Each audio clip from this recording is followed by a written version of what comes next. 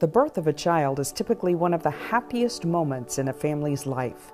But for mothers or fathers who are infected with the Zika virus, pregnancy can be particularly stressful as they wait to see if their child will suffer the sometimes devastating consequences of infection.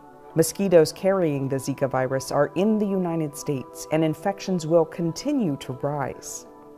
Microcephaly appears to be the most devastating consequence, and little is known how to stop it.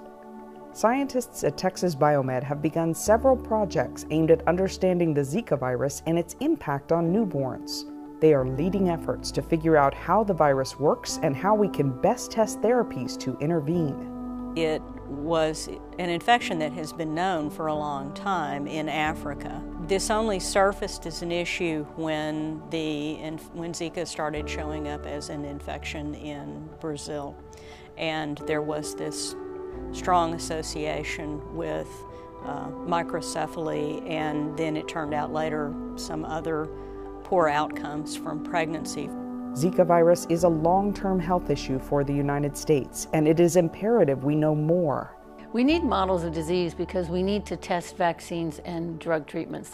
Um, it is particularly in the case if you wanted to develop a drug treatment for a pregnant female, um, that's a very tough thing to do. Treatments that you would introduce to a, a pregnant female in large part because you don't know if the treatment could be worse than the potential of a disease. With your help, we can expand these studies underway and accelerate discovery for our families. This is a serious issue. Zika infection is not going away. Um, we're going to have outbreaks all over the world, and we're going to have more and more outbreaks. And we're going to have them in um, what are now colder climates where we're going to see mosquitoes moving um, north. So, this research is critical in helping um, people decide when, what they should do during pregnancy, how they can protect themselves during pregnancy, and we'd like to make sure that everyone is protected either through a vaccine or a treatment during pregnancy. Scientific research is the cornerstone of medical breakthroughs. Texas Biomed is committed to enhancing families' lives through discovery.